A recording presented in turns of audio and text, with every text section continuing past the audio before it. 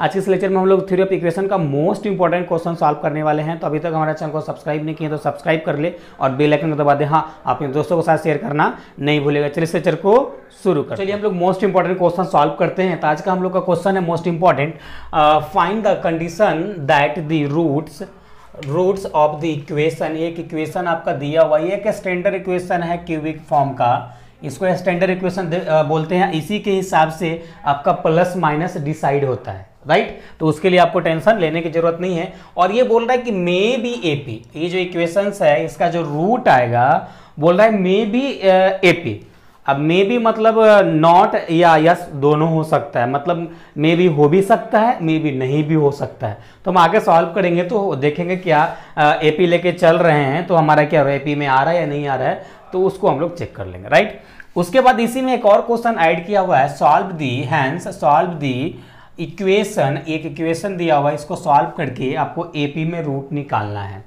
अब इसी क्वेश्चन को दो पार्ट में आपको एग्ज़ाम में डिसाइड कर सकता है, डिवाइड कर सकता है, या या लॉन्ग क्वेश्चन में पूछेगा तो दोनों एक साथ भी पूछ सकता है। राइट इसके लिए आपको टेंशन या ये इक्वेशन की जगह पे पहले जो इक्वेशन आपको इक्वेशन सॉल्व कराए हैं, वो भी हो सकता है, या डिजिट चेंज भी हो सकता है। तो आपको सॉल्व करने के लिए आपको सीखना पड़ेगा प्रैक्टिस करना पड़ेगा। ये ऊपर वाली स्टैंडर्ड इक्वेशन है तो ये सेम ही मिलेगा, इसमें कोई चेंजेस नहीं होगा प्लस माइनस सब सेम रहेगा तो आपको रटना चाहोगे तो रट सकते हो। राइट इतना बातों का आप ध्यान रखेंगे। उसके बाद इस क्वेश्चन को हम लोग सॉल्व करते हैं आगे।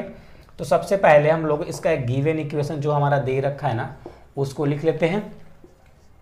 X cube minus P X square plus Q X minus R is equal to zero right अब यहाँ पे हम लोग लेट कर लेंगे now let the roots of given equation given equation is, हम लोग रूट मान लेते हैं a माइनस डी और a और a plus D cubical equation maximum power three है तो तीन को रूट होगा तो एक, दो, तीन रूट हम लोग यहाँ पे मान चुके हैं। उसके बाद उसके बाद इसका समेशन करेंगे तो समेशन कीजिएगा तो a minus D plus A plus A plus D is equal to minus A one और ए नोट राइट इतना आ जाएगा। उसके बाद इसको आप आगे सॉल्व करोगे तो आपका आएगा a minus D plus A plus A plus D is equal to अब देखो यहाँ पे क्या है आपका? ए वन में क्या है माइनस पी है तो प्लस हो जाएगा ए नोट में वन है तो केवल हमारा only four P P by one आ जाएगा। पी बाई वन आएगा और ये डी से डी कैंसिल होगा तो three A is equal to P आ जाएगा, यानी ए बराबर पी बाई थ्री आया। अब ये हो गया। अब एक काम को चाहो तो इसको इक्वेशन फ़र्स्ट मान लो। मुझे कंडीशन ही तो बताना है तो यहाँ पे करेंगे put the value of A in equation first in equation first में हम लोग इसको पुट कर देंगे और पुट कीजिएगा तो यहाँ पे देखिए, यहाँ पे क्या आएगा? P बाई थ्री है।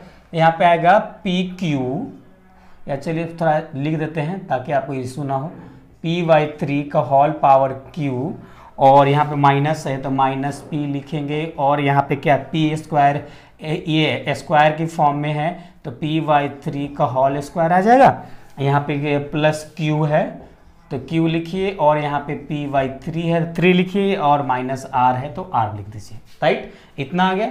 इज़ इक्वल टू ज़ीरो इसको आप पुट करेंगे तो क्या आ जाएगा? पी क्यू और ट्वेंटी सेवन आ जाएगा। तीन तीन होती है सत्ताईस। उसके बाद यहाँ पे आ जाएगा पी क्यू बाई नाइन आ जाएगा और यहाँ पे प्लस क्या आ जाएगा? पी क्यू आ जाएगा। बाई थ्री माइनस आर आ जाएगा। राइट इतना आ जाएगा। अब इसको ऐसा भी को एलसीएम लेंगे आप। एलसीएम लेंगे तो क्या आ जाएगा? ट्वेंटी सेवन आ जाएगा। ये पी क्यू आ जाएगा और यहाँ पे क्या आ जाएगा? थ्री पी क्यू आ जाएगा और प्लस यहाँ पे पी और क्यू आ जाएगा माइनस सॉरी यहाँ पे ट्वेंटी सेवन आ जाएगा। यहाँ पे थ्री है ना? यहाँ पे नाइन है, सत्ताईस। यहाँ पे नाइन आ जाएगा। नाइन पी क्यू आ जाएगा। नाइन पी क्यू आएगा और यहाँ पे आ जाएगा ट्वेंटी सेवन आर आ जाएगा राइट ये इक्वल टू ज़ीरो इतना आ जाएगा? जब इसको उधर मल्टीप्लाई करोगे तो आ जाएगा ये ज़ीरो हो जाएगा, यहाँ से घटाओगे तो क्या आ जाएगा? टू पी क्यू आ जाएगा और प्लस नाइन पी क्यू हो जाएगा और माइनस ट्वेंटी सेवन आर आ जाएगा इक्वल टू ज़ीरो अब ये माइनस यहाँ पे आपको कॉमन लेना है। माइनस कॉमन लेना तो इतना आप नोट डाउन कीजिए, फिर आगे सॉल्व करते हैं। चलिए, इस क्वेश्चन को हम लोग आगे सॉल्व करते हैं। तो यहाँ से हम माइनस कॉमन ले लेंगे ज़ीरो में डिवाइड डाल देंगे तो हमारा क्या आएगा? टू पी क्यू आ जाएगा।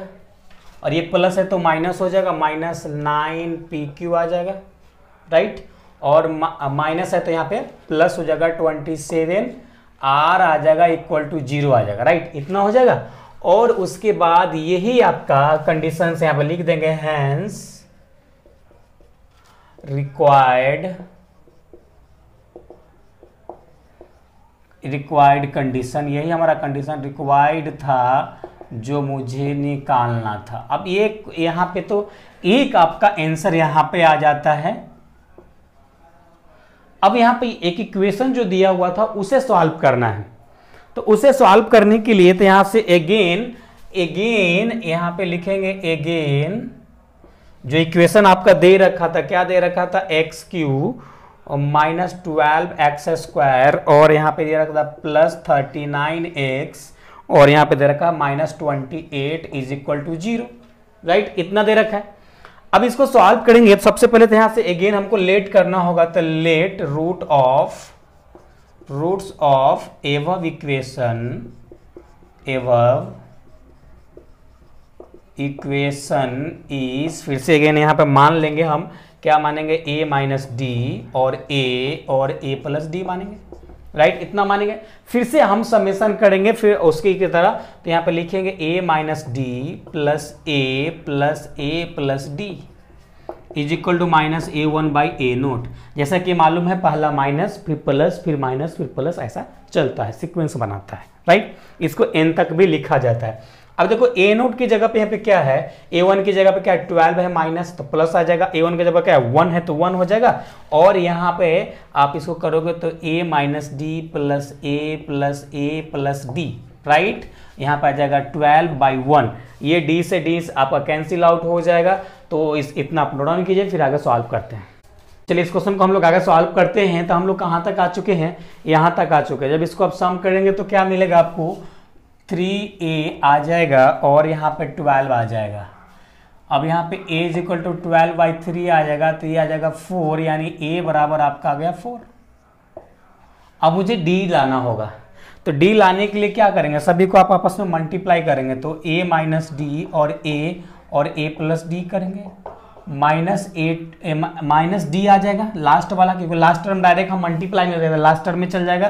तो यहाँ पे आ जाएगा D minus D by A naught right? अब इसको देखो, ये आ जाएगा A square minus D square और आ जाएगा A is equal to minus D आपका क्या है? फाइनली ट्वेंटी एट है। माइनस ट्वेंटी एट है तो प्लस होगा देखो माइनस ट्वेंटी एट है तो आपका प्लस आ जाएगा।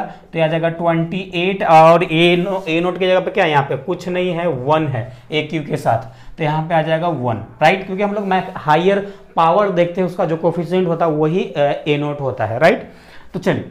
अब यहाँ पे ए की वैल्यू क्या है? फोर है तो यहाँ पे चार चौक सोलह माइनस डी स्क्वायर और यहाँ पे फोर आ जाएगा, और यहाँ पे ट्वेंटी एट आ जाएगा ओके जब इसे आप कैंसिल आउट करोगे ना, इसे कैंसिल आउट करोगे तो हम चलो डायरेक्ट करते सात चौक अट्ठाईस आ जाएगा राइट तो यहाँ पे आ जाएगा सिक्सटीन और D square is equal to seven इसको उधर भेजोगे तो D square is equal to आ जाएगा सेवन माइनस सिक्सटीन राइट अब इधर हम सॉल्व करना स्टार्ट करते हैं। देखो, ये आ जाएगा minus D square is is equal to क्या आ जाएगा यहाँ पे? नाइन माइनस नाइन आ जाएगा, ये ना माइनस माइनस कैंसिल आउट हो जाएगा तो आ जाएगा नाइन और ये आ जाएगा plus minus under root nine यानी डी बराबर प्लस माइनस यहाँ पे थ्री आ गया। अब ये प्रीवियस लेक्चर्स में आपको हम बताए थे कि आपका ये प्लस माइनस है तो इसको ज़रूरी नहीं है कि कंडीशन बना के माइनस को अलग सॉल्व करो प्लस वाले को अलग डाल के सॉल्व करो।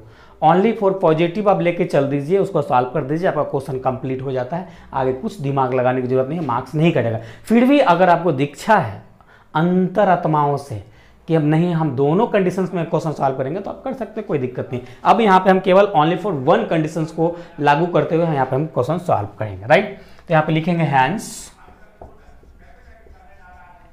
roots of roots of क्या एवब इक्वेशन था ना? चलिए above equation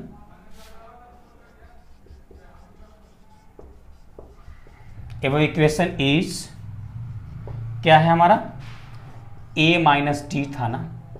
ए था और ए प्लस डी था राइट अब देखो ए बराबर आपका फोर आया है तो यहाँ पर फोर डाल देते हैं। फोर और प्लस लेके चल रहे हैं तो माइनस थ्री आ जाएगा। फोर आ जाएगा और ए प्लस थ्री आ जाएगा राइट ये आ जाएगा क्या? आ जाएगा वन आ जाएगा और ये फोर आ जाएगा। यहाँ पे फोर है। फोर आ जाएगा। तो ये आपका यहाँ पे क्या है? ये फोर आ गया और ये सेवन आ गया राइट तो यही आपका रूट्स आ गया। ओके तो आई होप ये काफ़ी इंपॉर्टेंट क्वेश्चन था। कई बार ईयर ईयर जब एग्ज़ाम हो रहा था ईयरली उसमें पूछा गया था। तो ये दोनों क्वेश्चन ना आपको कंबाइंड में इस प्रकार से आपके एग्ज़ाम में पूछा जा सकता है या अलग अलग पूछ सकता है या ये जो इक्वेशंस आपको सॉल्व कराए हैं, ये जो इक्वेशंस देख रहे हैं ना, ये इक्वेशन में भी चेंजेस हो सकता है, बदलाव हो सकता है। इसके जगह पर रिप्लेस किया जा सकता है, लेकिन वो ऊपर वाला जो इक्वेशन देखे थे वह स्टैंडर्ड है, उसमें कोई बदलाव नहीं, सब कुछ उसमें सेम होता है। तो अब रटने की तो ज़रूरत नहीं, ना आपको इतने इजीली हम मेथड से आपको हम सॉल्व करा देंगे बुक में देखोगे तो कितना घुमा फिरा कर सॉल्व किया हुआ है। आपको कंफ्यूज करो, लेकिन इसे यहाँ पे आपको इतनी इजी मेथड से सॉल्व कराए हैं कि आपको कोई इशू नहीं होगा, कोई दिक्कत नहीं होगा। आराम से इजीली एक दो बार सॉल्व करोगे तो आपको याद हो जाएगा। आप अपना फीडबैक दीजिएगा कि सही में वाकिफ में आपको एक बार में हंड्रेड समझ में आ गया है और याद हो गया है, तब कमेंट करके हमें ज़रूर बताइएगा। तो चलिए हम लोग फिर मिलेंगे नेक्स्ट लेक्चर में, जब तक अपना ख्याल रखिए। Thanks love you all